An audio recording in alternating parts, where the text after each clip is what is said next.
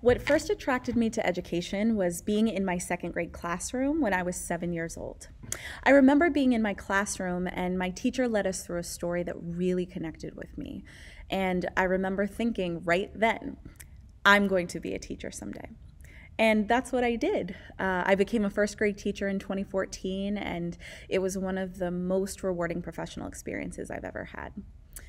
Now, what keeps me invested in education and where I see the value of education in our society is that we are growing the next generation of change makers in our country. Uh, we have so many challenges facing us, uh, navigating the li our lives post pandemic, climate change, the economy, and other existential crises that might face us in the next 50 to 100 years. And so, what we do at our school and what we're most excited about is the opportunity to educate our scholars, to help them become critical thinkers, uh, to teach them to advocate, and then for them to use those skills to make the world a better place.